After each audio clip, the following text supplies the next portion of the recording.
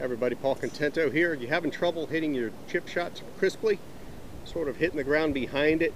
It's all because you're letting that club head pass your hands and you're scooping, trying to help the ball into the air. There's one truth in the game is that the club head should never pass your hands till after impact. So how do we help it out? Well, all you're gonna do is you're gonna get a bath towel.